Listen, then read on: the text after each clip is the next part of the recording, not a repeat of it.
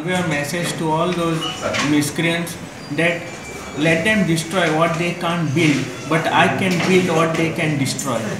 And with this, I want to pass a message that we are not going to respond in the same fashion where we, we are doing it with a positive energy. And I hope my positive energy will someday change all the miscreants. Mm-hmm. Energy on destructive material, use it on some constructive resources. If you don't have a job, come to me, I will give you job. Meanwhile, another social worker from Sangolda, Jack Fernandez, said that they have started a food bank in Sangolda with an aim to not let any person in the state sleep hungry. They will be serving free food to the people collected from hotels and various cake shops without any involvement of money. hungry in Goa. That's the main idea behind it.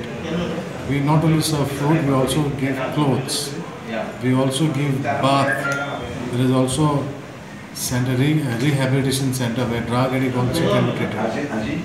We have a place 200 per day can enter and have a bath and can be refreshed and go back to the places. Everything is free of cost. The main idea behind this is nobody should go hungry to sleep in the night. Nobody should be hungry throughout the day. That's the main idea. So where have you started this? We have started from Sangolda. It's a very beautiful village north of Goa. And the main distribution center is from Mr. Donald Fernandez. He is the main person who is coordinating among all the other coordinators, among all the other volunteers. He is the main person. So from there, we pick up the food and we distribute to all the other people in around Mapusa, Porvorim, Panjim, Aldona, Santinis. Any plans to start in Vasco?